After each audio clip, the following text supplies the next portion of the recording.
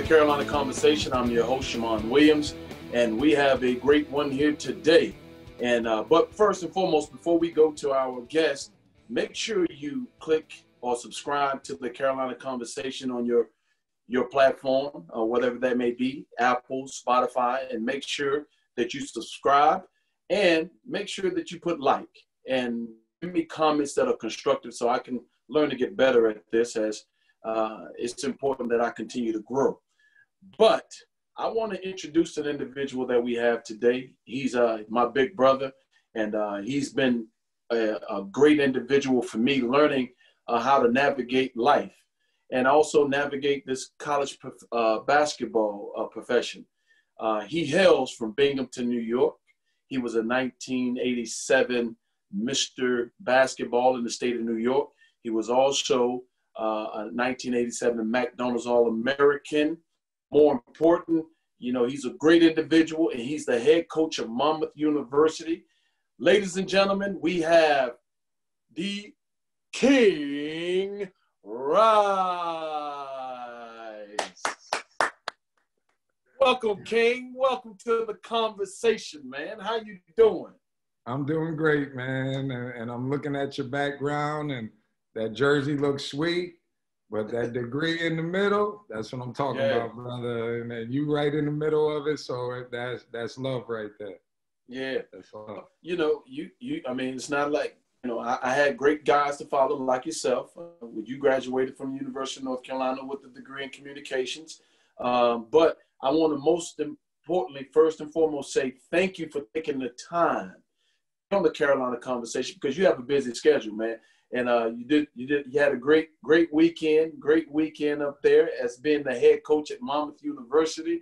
Uh, had some great wins this past weekend, um, but uh, you know how, how are things going for you in this COVID pandemic, being the head coach at Monmouth? Well, Shammond, I'm I'm very fortunate um, that I'm the coach at Monmouth. I have great leadership here. Uh, Dr. Marilyn McNeil, who's our athletic director, brought me here 10 years ago. And I didn't really understand being a head coach. Uh, I had only been an assistant. And when I was an assistant, I had all the answers. I knew I was going to be just like Coach Smith and I was just going to tear everybody up. And then you get your opportunity. And I started out 0 and 8. and then a lot of mm. doubts came in. But as I said, I had great leadership. Um, she's been the athletic director here about 27, 28 years. Um, and when she picked me, it was her. She made the call. And we have a very close relationship. She's been mentoring me. Um, she's helped me along the way uh, just by giving me this opportunity. But during this trying time, you know, uh, with her and then our president, Dr. Leahy, who's been here over a year, um, they've been on the front lines leading. And when you have great leadership, then you feel safe. And when I feel safe, then I can do my job with the team, with my coaches, with the whole campus. And with COVID, and on top of it, all the social things that were going on in the country, you know, basketball coaches get put in the front. And fortunately for me, I've had great leadership before here with my father and my parents my high school coaches. But then the time that I had at Carolina, Coach Smith was always on the front line. He always told us to use our voices. So I just tried to reflect on the things that he taught me when I was in school and tried to use that with our players. So we're in good hands here at Monmouth. And I'm fortunate that I learned from one of the best on how to deal with 18 to 22 year olds, especially in trying times. Right, right, right. Yeah, that's you know that's that's noteworthy for sure. Um, they have a great individual in yourself because you you have an extensive background in uh, in a diverse background in dealing with people, and uh, I think a lot of times people don't take that into account. Uh, coaches or point guards, because when you're a point guard, man, you got you got a lot of people that you have to deal with, and so we're going to get into that a little bit later. Um, but we want to we want to first go back to 1986, 87. What made King Rice New York's Mr. Basketball want to come to the University of North Carolina? Well, first off, when when I started getting recruited, it, it was mainly Syracuse and Northeast schools. And then mm-hmm. after my sophomore year, we won the state championship. I got a chance to go to five star camp and I played very well at five star. Nobody knew who I was. A coach picked me early in the draft and they almost didn't let him. But the high school coach from Mount Vernon, who we beat in the state championship, told the coach at camp, whatever you do, get this kid on your team. So I had a great week at five star. And I can remember the day when I first got a letter from North Carolina. I was with my friends, we're hanging out, and I came home and I had been getting letters now, and people were calling, and my name was starting to be recognized a little bit more. And you know, as a kid, that's that's a great feeling. So you're feeling yourself a little bit. I knew I had Syracuse, and that's where I wanted to go. It was an hour from my house, and then I went home and I got a letter from North Carolina. I got in my brother's car and I drove all around town and showed everybody. it, it, like it, I showed, I went to the park that I grew up playing in. I was like, yo, I got a letter from Carolina. Carolina wants me to come to Carolina. Yeah. Because that was one, them in Georgetown was one that as a kid, you, you say, well, hopefully someday they might recruit me. And all these right. other people started coming pretty heavy, and those two really didn't. So when I got that letter around town, and it it just it made me feel like I must be doing something right because you heard the stories that they didn't recruit everybody. It came to recruit you, it really meant something. so that gave me a, a boost. And then um, when I went on my visit, okay, it, it was the day after Halloween. I had to take the SAT in the morning, and I was supposed to go Friday night, but I had the SAT, so I took the SAT. Coach Williams flies up to pick me up. Nah, I'm a poor kid from Binghamton. I had only been on airplanes to go to camp. Um, right. Didn't really like it. Uh, I had been on another visit, so I had been on an airplane then. Coach uh-huh. Williams flies up in a private plane picks me up. We fly down there together. we go straight to the football game, and they bring me up to Coach Smith's booth, box, up at, uh, uh-huh. in King. And Phil Ford is in there, and Phil Ford Sr.'s in there. And those were the first two people that I got to say hello to. So then I'm like, they must really think I'm a baller if they let me meet Phil Ford. And I got to meet his daddy. and I got to meet his daddy. So I was yeah. I was feeling pretty good at that point. But then the weekend, when when you go on other visits, it's fun. It's it, was cool. It was the first time I was really getting to get away from home. But on that visit, you just it just felt different. Um, the the the togetherness with the guys, how they all hung out together, um, how how they all talked to me about what was going on with me not just saying, come to North Carolina. They talked about their stories when they were being recruited, some of the good ones, some of the bad ones. And it just, it truly felt different. And while I was on that visit, then I went to church with Coach Smith in the morning. Um, mm-hmm. Rick Fox was on a visit the same weekend. He's telling me he's probably going to Indiana. I'm telling him I'm probably going to, to Syracuse. But we have a great time. I go to church with Coach Smith in the morning. And then before they brought me to the airport, I said, I just, I, I want to go to the store. I want to go to the store. Now, on my other visits, I didn't buy anything. Okay. At Carolina, I bought me a white hat that had North Carolina on it, and I bought a T-shirt. Uh-huh. All right. We didn't have money like that. So it was probably the, the $22 that I saved up forever to go on this visit. And right. um, so I think right then I knew that's where I was going to go. Um, I knew it would be hard to say no to Syracuse because I was tight with their coaches. I had been to so many games. Um, but when I was on the visit, I just knew this was the place for me. That's awesome. That's awesome.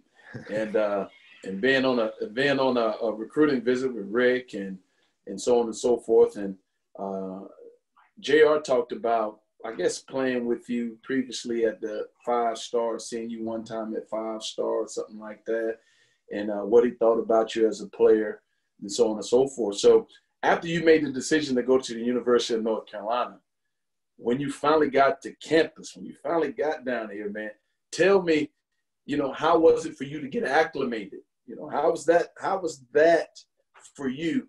You know, leaving New York, um, and then coming down here to the South, it being a little, probably a little bit more slower, but um, you know, a different culture. You know, how were the, how were those things for you? Well, the, the things that, that were great is that when you when you go down there and you're on a team, you have the older guys on the team. So I already had what I, I would call brothers. Okay. Right. Um, I, I immediately, and it's funny because Rick Rick ended up committing, obviously, and we called Coach Smith like 10 minutes from each other. Rick called and committed. I called coach right after, and he was like, "This must be my lucky day because Rick Fox just called and said he's coming too." All right, so Rick and I were Had y'all spoken about it before you committed, or you just no, no. We we we met at camp. Um, we played really well together at camp. Some of the schools were recruiting both of us, but Carolina was the main one. We went on a visit together, and we had a lot of similarities, being that we're both biracial dudes. Um, mm-hmm. His dad being from the Bahamas, my dad being from Barbados, um, mm-hmm. and then both of our moms being white, and um, you know, so we had some things already. Um, right. You know, he just just those things in common. Then we both go on a visit the same weekend. That was probably the coaches putting us together like that. And then just after that, I didn't talk to Rick again. And then coach told me he committed on the same day as me. And then um, you know, obviously we get to school, so we're tight already. Rick and right. I, we started talking, getting to school, and we all looked up to JR because JR was the biggest high school dude when we were in high school. And then the freshman year he had. So I probably tried to follow behind JR a little bit too much away from basketball. I probably, probably, probably was trying to be cool, thinking because I was with Jr. that make me real cool. But he oh yeah, you go, you most definitely gonna be cool with Jr. now. But he only referred to me as freshman, so we'd be around girls, and he'd be like, "Come on, freshman, we gotta go," you know, and stuff like that. But my first day there, okay, I pull up, right. I have a bad haircut. Jr. starts picking me. Kenny Smith is laughing, right? And then about an hour and a half later, they're like, hey, young fella, we going to the gym to see what you got. And I'm thinking, this is my job. All right, I'm getting ready to show y'all what I got. But I was an 18 year old kid, and Kenny was the number seven pick. okay. Right. right. Kenny showed me that there was a reason I was a freshman, and there was a reason he was a top pick that year in the draft. And my right. first day there, he made me fall down. This would be no coaches around. This was just the guys come to the gym, play pickup, and Kenny right. Smith made me fall down. I was like, uh oh. And then I thought I was gonna get in the lane and do what I always did. That's what I do. And right. I got in the lane and I went to the hole and got around Kenny, went to lay it up, and Warren Martin blocked my shot without jumping. All right, on top, my first shot, he was on top of the ball and just brought it down to the floor, and they fast break that. I, I might have even fell down. Right. I was like, that never happened to me in my life. Like I fell down, right. Kenny shook me, and I fell, and Warren Martin blocked my shot where he didn't jump, and I used my best stuff, and it was like, right. whoa, whoa, whoa, wait a second. But it was my first day, so I'm thinking I'll be all right. I'll be all right. Two days later, Lebo comes in the gym. And I've been waiting on this one. I'm like, yo, yeah. I'm gonna get him extra. and when Jeff comes in the gym, all the guys start going, Lord Lebo, Lord Lebo. And I'm looking, Lord Lebo, that's just Jeff. But they all call him Lord as his nickname. And I'm like, well, I'm getting ready to tear him up for sure. Kenny's a pick, but I'm gonna get Jeff. And it was like the whole gym knew what was about to happen. Lebo scored all seven points on me. All seven. They were setting screens for him. He was running around, shot faking. I jumped. Then he go lay it in. They were all laughing. He scored all seven points, and then they got me off the court. Right. So then it was like, whoa, this is this might take a minute. And then when right. the coaches got involved, you know, I knew I could guard. I knew um, I could get people the ball, but I knew it was going to take me some time to truly. I knew right then it was going to take me some time to to figure this thing out, and I better be ready to get in the gym. It was cool because the older guys put their arms around you and said, "Hey, we all went through this too. Keep your confidence right. up. Don't start tripping. Just keep your confidence up and do what coach wants you to do." Um, I got in great shape so I could do all the running and all the stuff that you have to do when you get there. But it truly was the first time in my life that I didn't have maximum success. Like first mm-hmm. time in anything I ever did, I always had a lot of success playing football, baseball, basketball was my thing. Um, just never had then it never dealt with anything like that. And mm-hmm. then what what the hard part was I didn't realize how much I counted on my father to, to work with me when I had a bit off day. My dad would be right, right there, like, yo, son, what's wrong? I you didn't look right today. I'd be like, Dad, I'm okay. And we talk through it. And he'd be like, all right, man, well, we'll see how it goes tomorrow. And just that support. And you think I'm a man now, I got to deal with this by myself. And I, I probably should have reached out to home more because I was a mm-hmm. long way away from home. and I never had been away from home before. You know, so I was doing a lot of fronting, like I, I had control of this whole thing. Um, right and and truly didn't have any control of it because I I started doing things that I had never done before. Okay, I was a mm-hmm. guy that never drank alcohol. I was a guy that didn't go to a lot of parties. Okay, I was a guy that was working to make the pros. I was from a right. poor family, and that's what I was gonna do. And then I picked Carolina. You make the pros when you go to Carolina. Okay. Right. And I, that was like, okay, you know, I'm going to do the same thing. and struggled with a lot of off the court things early, thinking I was cool, thinking I, I could handle anything. And mm-hmm. like I said, started drinking and, and uh, doing some things I probably shouldn't have been doing and had never done it before. So I was way out of bounds from anything I had ever done instead of turning to my support group, my mom and dad, the coaches, and just saying, hey, these guys are good too. okay, right. this isn't a, a, setback. These guys are good too. You're a freshman.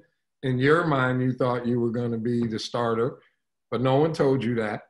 Okay, right. and now you got some work to do. So it ended up being great, but it took me some time to navigate through not having success for the first time no question. Well, it's interesting that you bring that up, King, because uh, I've always thought about this myself, uh, being a former player and and and always being around the program and watching kids matriculate through the institution and the program. I think that's one thing that a lot of people don't take into account um, because North Carolina, you, you do recruit the best players in the country and you have that opportunity. And so these kids are they're still kids, but they're so used to having so much success. Uh, they've always had success and been those individuals. And a lot of times, this is the first time that they will face adversity. And I don't think that people give that enough thought to what these young men are dealing with or have to deal with. And, and for you to, to, to be um, extremely honest with us and, and, and state some of the things that you dealt with and being able to recognize those things, you think about how many kids throughout the program that, that have been on that same level as you, but having to come to North Carolina and experience, quote unquote, I call it basketball adversity, um, because there's other talented guys just like you or guys that have more experience than you. You know, you may be better than them at on that spectrum as a freshman, but your opportunity isn't going to present itself because they're still there and they understand the environment. They they can navigate the ins and outs. Right. Um, so it, it's something to be said that that you bring that up uh, about a support system and and having to deal with adversity and and trying to belong and you know and finding yourself doing things that you like you said you you possibly wouldn't have done had you had gotten that immediate success so how does that help you now you know as a as a head coach dealing with you know knowing what you've experienced and then being able to identify that or being able to have some empathy for your kids that you bring in that may experience the same things well what, what i try to do is we we recruit the whole family Shammond. Um, right. I, I, we call your parents before we call you. Um, mm-hmm. I, I, think that's important. I, I, think these kids today, because you can reach them so many different ways, and you see a kid at a gym and you go, wow, he's really good. I want him. And then you just reach out. Well, to me, that's weird. Okay. He's a kid. Yeah. He's a kid. That's so right. I'm a grown man calling somebody's child. That's right. That's first. Exactly. Okay. and so we reach out to the parents. We try to find out who we should call. Um, we call the AAU coach, we call the high school coach, but we call the parents first, just to say, "How you doing? My name's King. I'm the coach at Monmouth.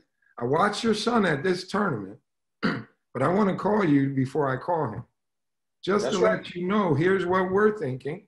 Here's what I saw. You know, this is what we're trying to do at Monmouth, and we'd love to start building this relationship. But I'm always going to call the parents first, just because I think when the kid's receiving calls from coaches that he sees on TV, or just any college coach, and the coach calls, you're gonna feel some kind of way as a kid. You're gonna feel like you you're doing something, and right. your parents might be raising you a different way and they they don't want you feeling that way they want to keep things under control they don't want you to get a big hit they don't want outside people in their business so you know we we talk to the parents first get permission basically to call the kid and then we explain to the kid what we saw how we do it um, we build a relationship before we just offer a scholarship because coaches just start offering, offering, offering. And would you take that kid if he said yes right now? Well, right. It's not just about ball. Okay. Right. I know I don't I don't fit work for everybody. Some people might see how I do and say that's not for me. Well, right. if we don't build a relationship first, we'll never know. So yeah. I, I, always build with the parents, um, and we recruit the whole family. And we encourage our parents to call whenever they want. Okay. When I mm-hmm. first became a head coach, a lot of people would tell you, King, you can't talk to the parents, man. Parents be calling you all the time and all the time. Well, I'm a parent. That's right. right? I'm a parent. And okay, if I'm sending my son somewhere, I got to trust the person I'm sending him to. So I should be able to talk to that person whenever I want if I'm sending my child to him. Okay, so if that's how I feel as a dad, how can I tell a parent, I'm calling you early, but once you send your son to me, you can't call me anymore and talk about basketball? Okay, and that's how it's been for a long time. We broke all that down here. Okay, you can call me anytime because most of the time, what happens is your son is scared to tell you he's not having success the way you told him he was going to have, the way all the reporters told him he was going to have. He was going to be the savior of the program, and now he can't remember what we're doing. Okay, right. so he's not the savior, and now he thinks people are messing with him because he's not balling anymore. Okay, mm-hmm. and it's happens to a lot of kids, and they need their parents. And I tell them, call your kid a lot. especially when you first drop him off. When he's comfortable, you'll hear it in his voice. You'll be able to tell first, my son is in the place he needs to be mentally. He's good. If you don't talk to them, you you'll lose track. And then they'll be scared to tell you, Dad, this guy's been out playing me every day. They won't even know how to say it. And then right. they'll be telling you, I'm getting busy and coach don't play me. All right. So usually I tell the kids what it is already. Then they deliver the wrong message to their parents. And then parents come and their son is sitting on the bench and now they want to be mad at you when all it is is your son didn't tell you the truth. He didn't. He couldn't tell you, Dad, I'm gonna play about four minutes, if right. I get that many. If that, he also didn't right. tell you he was late six times. He didn't do what he was supposed to in school. He he, right. he talked back, and we had to run him. You know, a whole bunch of stuff happened. He didn't tell you that either. And we, you know, there's laws we can't call and tell on kids, which we would never do. But I think it's important that the relationship is strong so when a parent, I called my dad and said, Coach Smith don't know what he doing. Dad, Coach Smith don't know what he doing. I should be playing. And my dad right. said, King, that man's been the coach there 20 some years. He obviously knows what he's doing. you obviously aren't doing what you supposed to be doing. Don't call here no more with that, King. Don't call right. me no more and say that. Start doing what you're supposed to do. Right. All right. And that was that. So we try to we we keep that relationship with the families because it is a trying time. And it is a lot of times these kids first time away from home. And their parents mm-hmm. play a major role in all the success that they had. And now they're out there by themselves. And now the mm-hmm. things that you always said no to is available to you 24 7. And now, right. did you say no because you didn't want to experience these things? Or did you say no because your parents wouldn't let you? Okay, well, now your parents aren't here. And you're not going to get in trouble if you're out late. And you're not going to be in trouble if you got a lot of people coming in and out of your place. Are you still able to say no? Because if you don't, then you get going faster than you've ever gone before. Okay, right. so with our team, we're very involved. Okay, we're very involved. We talk to them about all the pitfalls all the time. I've told my story a million times, um, mm-hmm. just about staying who you are, staying grounded to who you are. Okay, that basketball does not define you. Okay, you That's are right. way more than that. You're way more than that. If you have a bad game, you had a bad game it's harder now for these kids because everybody can say something now. You have mm-hmm. social media. Every time something goes wrong, everybody can say something. I didn't have to deal with that, but I had a support group of old, older players when the fans were really on me. I remember getting a call from Jimmy Black my senior year after I got booed because I turned it over against UConn so much. That was not cool that I got booed. okay, I don't care how many times I turned it over. Had a bad That's game, right. but I'm, I'm not a pro. I'm not being paid. I'm your team's point guard. That shouldn't happen at the house. And Jimmy called me the next morning, like nine o'clock in the morning. I almost didn't answer the phone. And he just was like, King, that wasn't cool last night, young fella. And I just want to know I'm supporting you. And you're doing right. your job just like you're supposed to do your job, man. And you keep doing your job just like coach. If you weren't doing your job, coach wouldn't have you out there. Don't That's let true. the fans feeling some kind of way about your game last night bother you for one second. And that that's the type of support that Carolina gives you because an older guy will reach out to help you. Okay. That's and that's why I was I had great teammates, you know, that supported me. Um, I probably should have listened to him about some off the court things earlier, but I wasn't listening then. It was like, I got this. Nobody, I, you're not my father. okay, I'm doing it how I want to do now. And, you know, but so now because I've gone through that, I'm, I'm strong with my parents. I talk to the kids about it's okay if you don't have success. Okay? I thought my whole purpose to that point in my life was I was supposed to make the pros to take care of my parents. Okay, that was our my whole deal. These kids get way more pressure to make the pros now. My pressure was to get a degree because my dad never had that opportunity. Okay, so he pushed hard. If you get a degree and an education, no one can take that from you. And you can go and do whatever. Okay, the pros would have been the bonus to him. Okay, I thought I'm gonna make the pros. I'm ranked really high. I go to Carolina. That was gonna be my deal. That was defining me basically. So when I didn't make it, whoa, whoa, that I, I failed. Like, whoa, all my boys made it. all right. And then you you go through and and then I started coaching. I played. Coach Smith made me go play. So then I went to England and showed that I could play, but I was like, I don't really want to play anymore. So I came home. I had one class to finish, got a degree, and I got into coaching. And then early on in this, I saw I could really relate to the kids. I thought that before, but I was like, whoa, I, I, I really, these kids really vibe with me. All right. So then it's mm-hmm. like, wow, this is, this is a cool thing to do. So then the, the, you do it a little bit longer, and now it's like, wow, I could be really, really good at this. And leaned on the Carolina family with getting a job with Jerry Green at Oregon.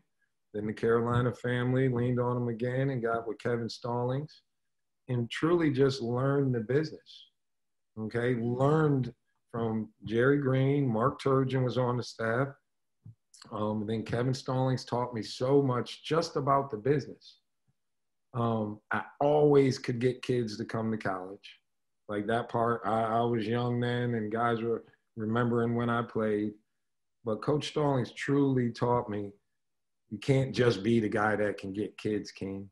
You got to be more than that. And I'm so fortunate because a lot of guys get brought in just to be the recruiters.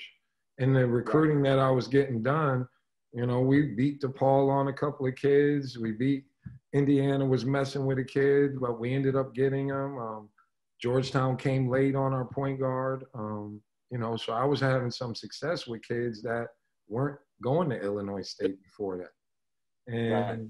he was like, you can't just be a recruiter though. You can't do that, King. You got to understand the whole business. And he worked hard at teaching me this business. He, he, he truly, he made me write him letters almost daily in the office so my writing would get better. Because back then you had to write letters to kids. Okay. And I right. wasn't the best writer. And he made me write better. Okay. He made me make phone calls to people's parents when I was 24, I didn't think I should be talking to people's parents that much. Um, I just didn't. I was good with the kids. He had to be good with the parents. He didn't allow me to do that. Um, on the floor, he made me do clinics in front of people. I knew my stuff, but I wasn't good at showing it to people or talking in front of a whole bunch of guys that I thought were really good coaches. So he he really forced me to become a college basketball coach and not just a recruiter. Um, mm-hmm. And then working with Tim Welsh, who did it a totally different way, helped me see, you know what? It's all you you make sure you relate to your kids and kids will do amazing things. Tim was great at putting kids together from all over and just vibing and getting those kids to believe in what they needed to do. And, you know, so I just kept trying to get better at that. And now I'm sitting here talking to you about being a head coach and what I learned. And I got a text from my mom yesterday, her son, her son's a freshman big man, and he probably scores the ball the best on our team inside and I probably he should probably be getting about 17 to 18 minutes because the kid can score the ball. My other big guys right now can't. But my other big guy runs to the rim way faster and gets all the rebounds, and he's a junior. okay. And then I got two seniors that are both one six five and one six four, and I'm playing them at the four and five because they're seniors and they're just grown men and we're better when they're in, all when even though they're all small. And right. this kid's mom sent me a text and was like, how proud she was of her son because he's really doing an amazing job. But then she said, I'm even more happy that he's with you guys. And that means me and JR and Jamal Meeks and Rick Callahan because we're trying to raise, we, we tell the parents, you give us your kid and we'll send back the grown up version. okay, of the great young man that you sent us. And we'll have them right on the cusp. They won't be grown men, but we'll have them right there. And at the end of this, we'll all hug and it will be what we all wanted. All right, the basketball is going to take care of itself. And if your kid does the things he's supposed to, he'll probably have an opportunity after. But I thought I'd have an opportunity too, and it wasn't on the court. Shammond, I'm a way better basketball coach and helping kids than I ever could have been as a player. Right. And and I'm truly, and this comes from my, my dad's background. I'm supposed to, and then Coach Smith and the people that I've gotten to be around and surround myself with. This has been more of my calling, I think. But I think yes. there's there's even more. I, I, I think I'm supposed to help people even more than I'm I'm helping because guys are getting education. They're going back to their communities with college degrees and they're doing positive things. But I think I can do more on the ground level that like people help my family. You know, we didn't have anything. We had a dad that was in the church that did the right thing and people let me go to their camps and people would pick me up to take me to foul shooting competitions and there was just so many people at the ground level that helped a family like mine that I can't reach right now. So I know there's more that I'm gonna do while I'm coaching, but also after I'm coaching in the community where I'm from, and then and then branch it out even even more than that. Yeah. Well, that's I mean that's awesome, King. I mean I mean, you are a great representation of of our institution, and uh, like you know what I what I appreciate about you is you've always been honest, and you've always tried to use yourself as an example to help us uh, what to do, and sometimes, as you say, what not to do, and um, a lot of times, you know that that that takes a lot as a as a person. You have to grow you have to be confident in who you are, and you have to be able to step outside yourself to analyze yourself to say, hey, you know what? These are the things that I need to do to help others. And uh, you know, it it you know, I, I, like to sometimes associate it with being a point guard. You know, like mm-hmm. you understand about being a point guard, man. Like you have so many people that you're responsible for you know, like, and you feel that way, like, I gotta, I gotta make sure this dude is cool. I gotta make sure this dude, I, I gotta know enough of him to understand his, that I can yell at him or I need to talk to him. You know, and that that takes that takes selflessness. That takes caring to understand. I can't talk to him. I gotta say something to him, or I gotta use somebody else to get to him. And and you have to be in that environment. You have to be around that person you have to spend time. It takes time to understand those things. And so listening to you, you know, I, I, I feel you because, you know, that's that's who I am as a person. But to understand that, you have to take time to evaluate yourself, mm-hmm. evaluate people. And and you know, the one thing that people don't, you know, they may not give you enough credit for is being a leader, a leader of men. You know, and everybody can't lead men. that's that's difficult. Most people don't want to do that, but you know, it, it, it takes it takes a leader of men to to be honest with himself.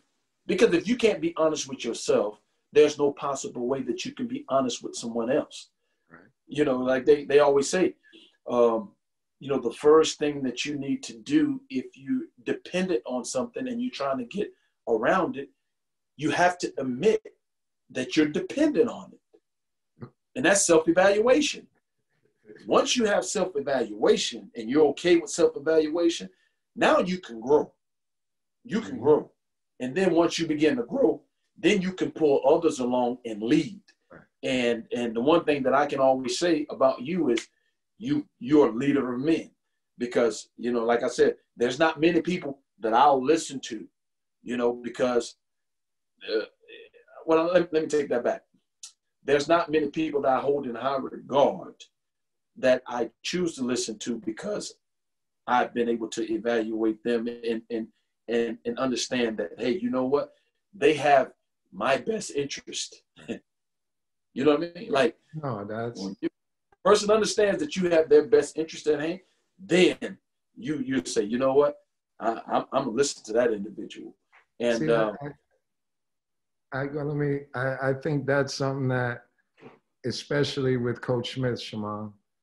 Um, mm-hmm. I, people ask me about him all the time, and I and I I always go to Coach Smith. Always gave you the best advice for you.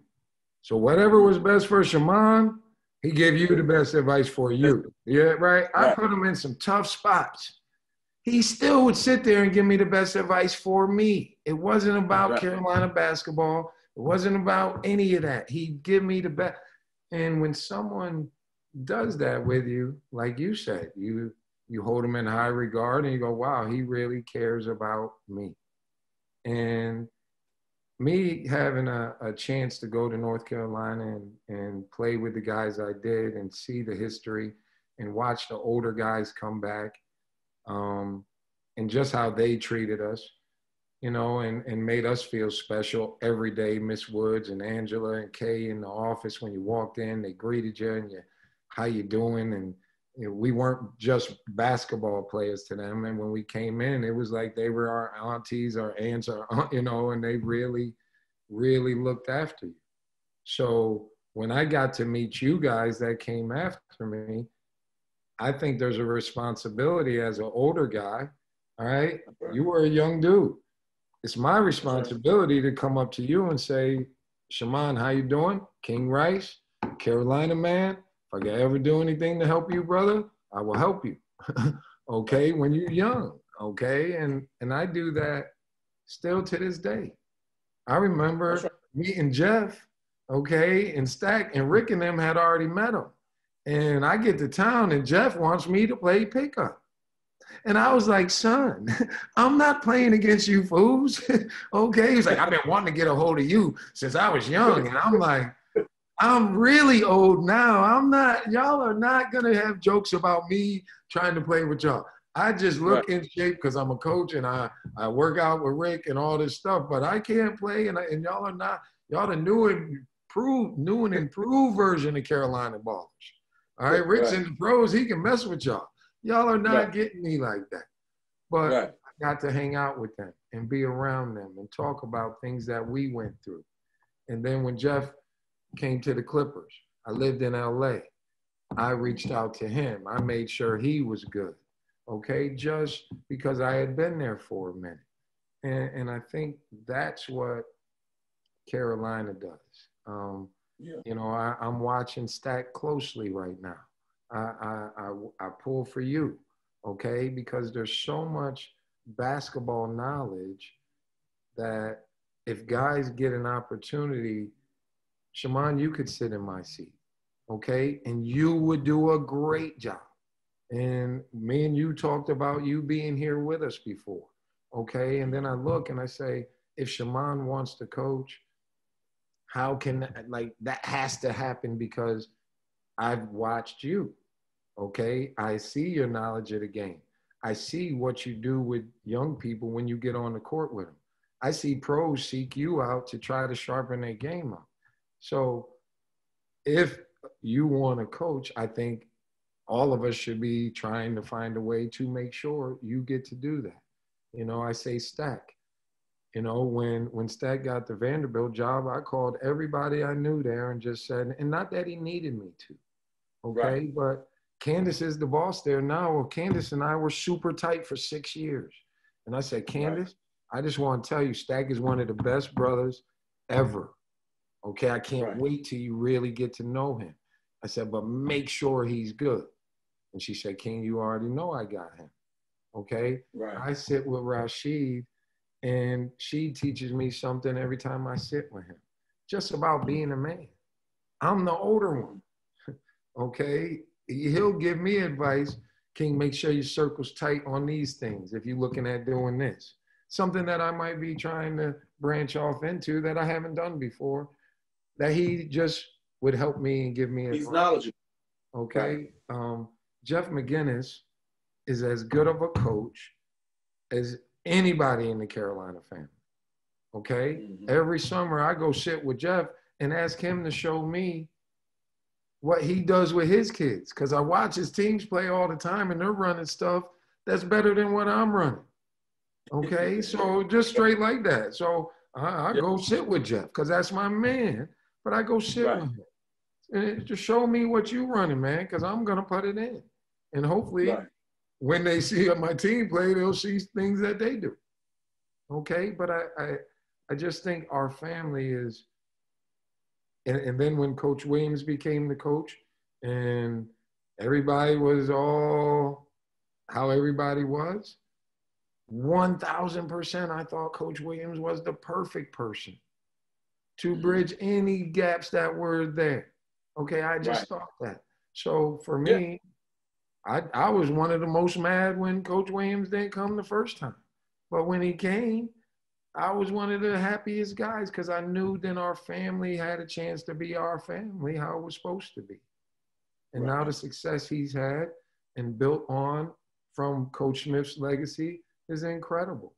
And I, mm-hmm. I think the young guys there now, I know they need Sheed. I know they need you. They need JR. They need Stack, just like we needed Mike and Sam and Walt and Dudley Bradley and Matt Doherty and all them dudes just to come back and just so you know, hey, this is real. This is the That's realest right. family. These guys watch because we all watch. We watch every game. We kick the TV. We throw stuff. We scream. We cheer all in the first five minutes. Okay. So we're all watching because we care so much.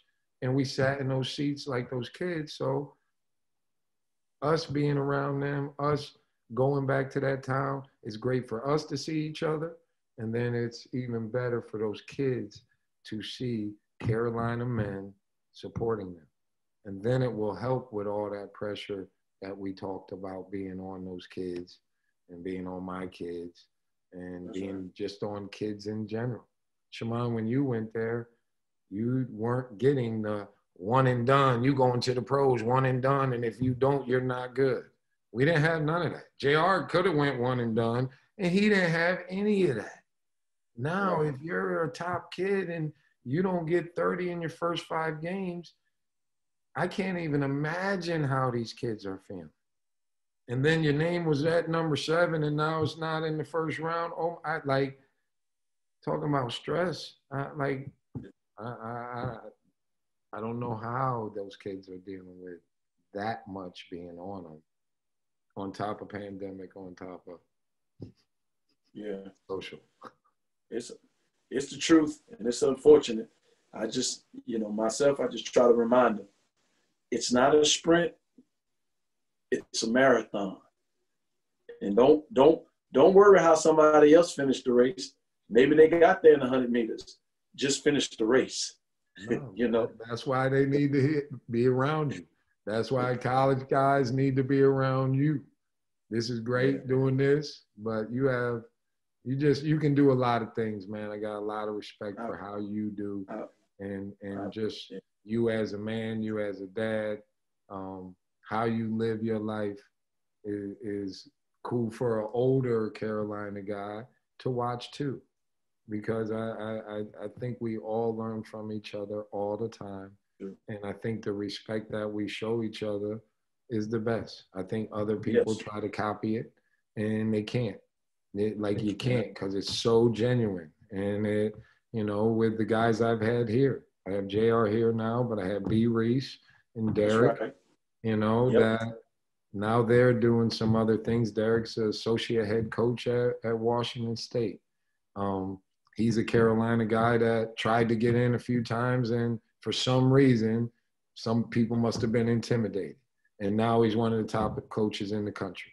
B. Reese right. became a head coach after he came here, and now he's uh, assistant in the Missouri Valley, doing great.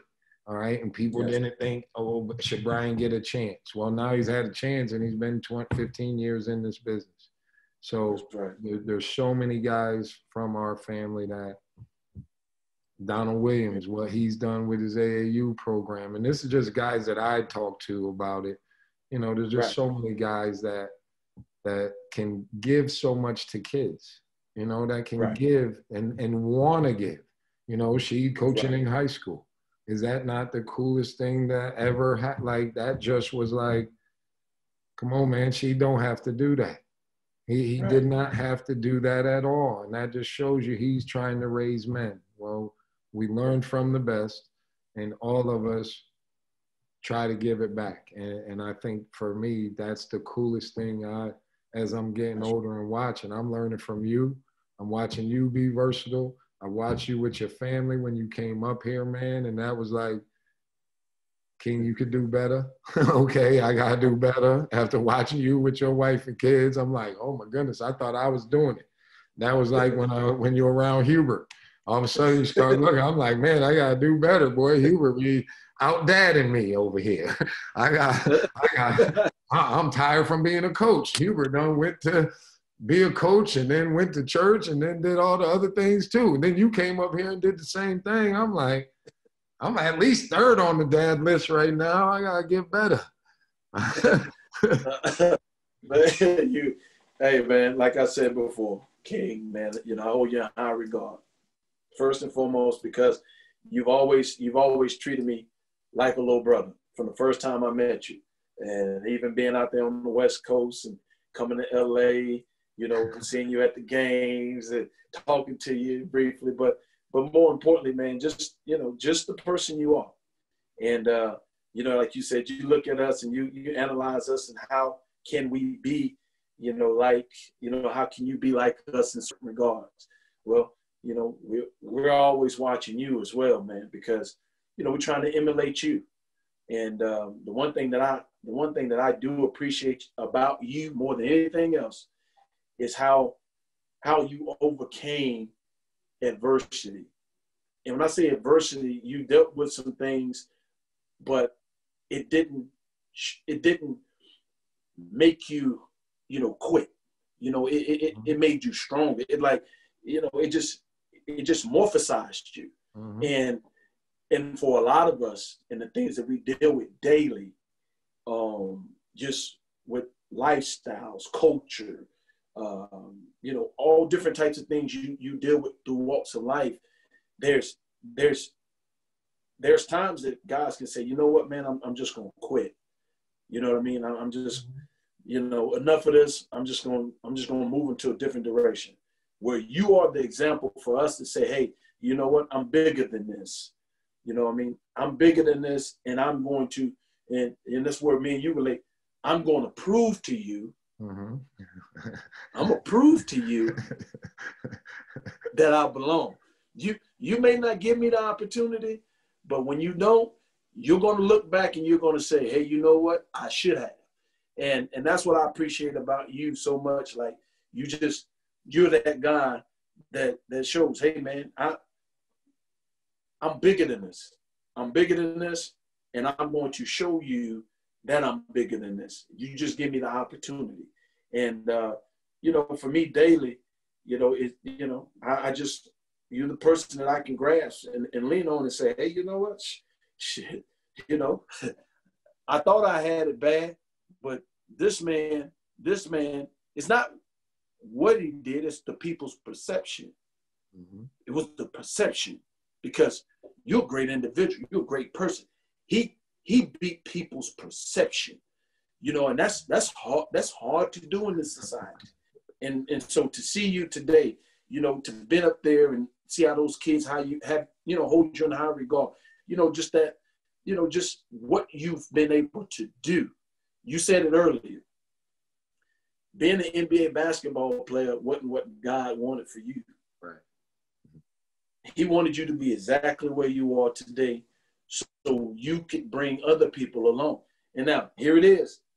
A former NBA basketball player, is following you and wanting to have the same resolve that you have to have an opportunity to show people, I'm going to prove to you.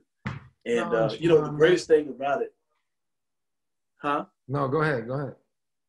I was going to say the greatest thing about it, just the greatest thing about it, if Coach Smith were here today, he would be extremely proud of you, of how you did everything.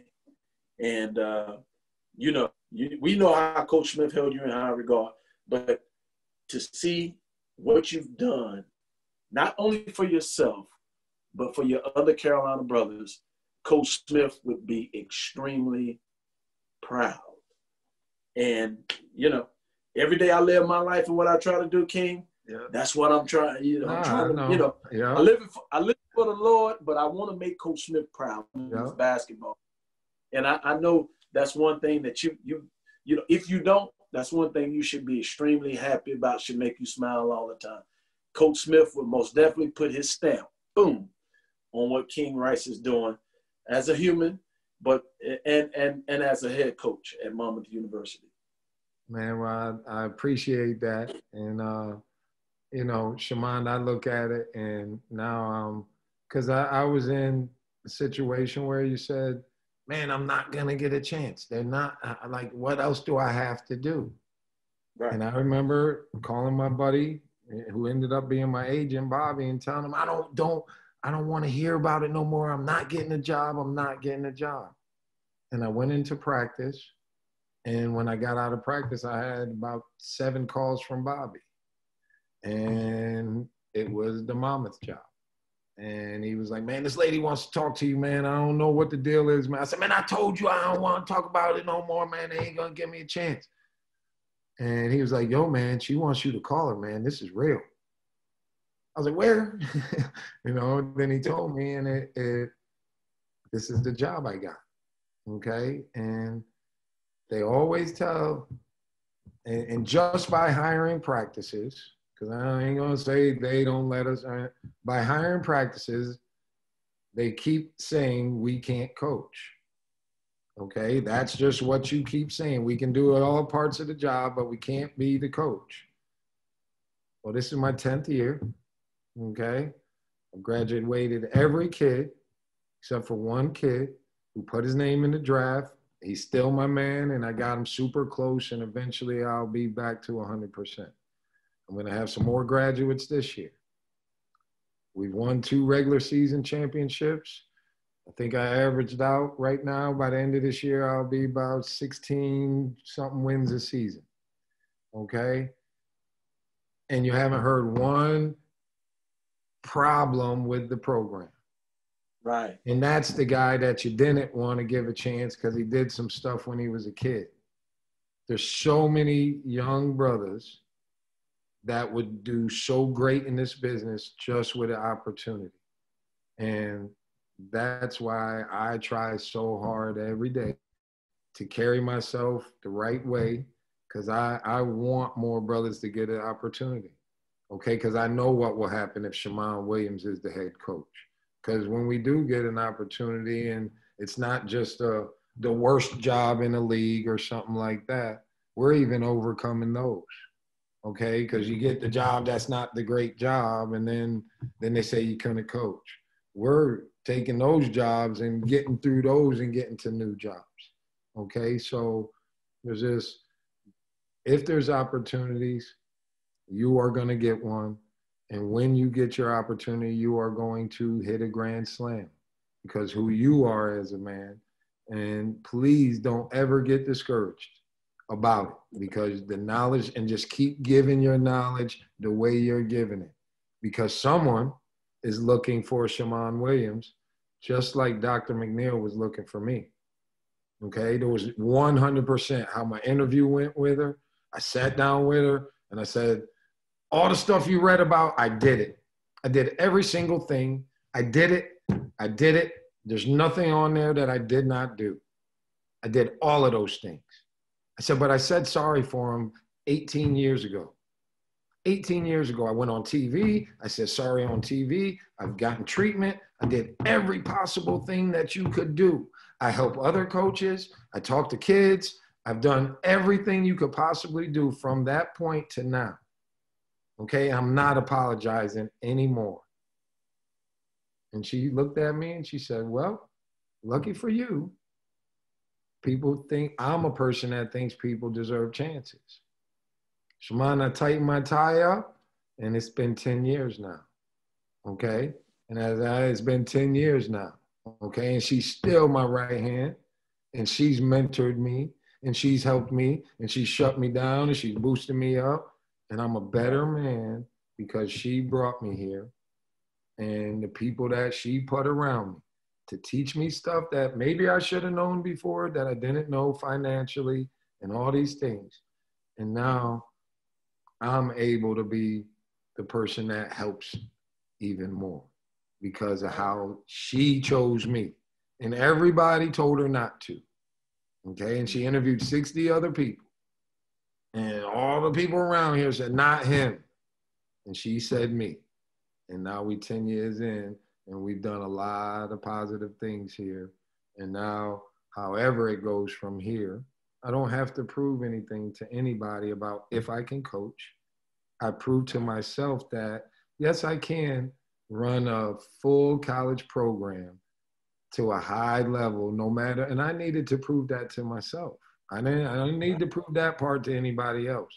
I had to show myself I could do that. And now, mm-hmm. Shammond, I, I truly feel the next 20 years are going to be even better because now I'm capable of truly helping other people. Before, I was trying to help, but I wasn't in a position to help enough.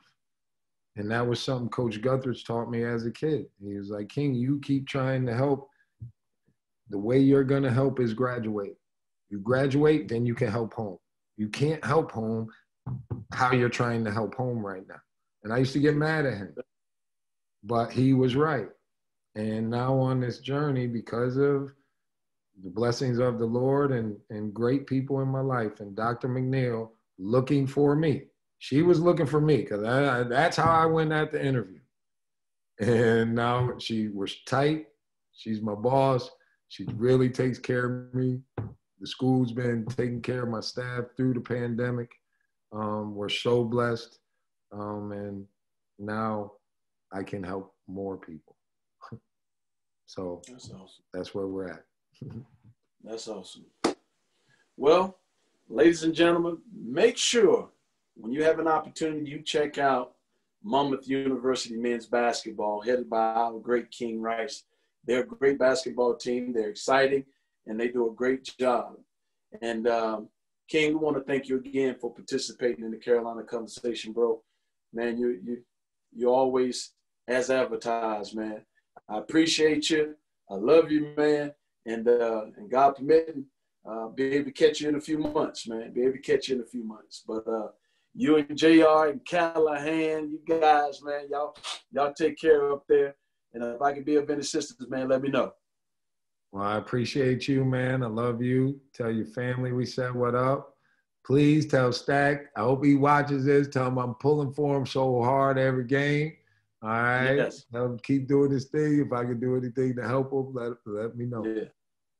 I will do. Will do. Ladies and gentlemen, let's say thank you again to the great King Rice.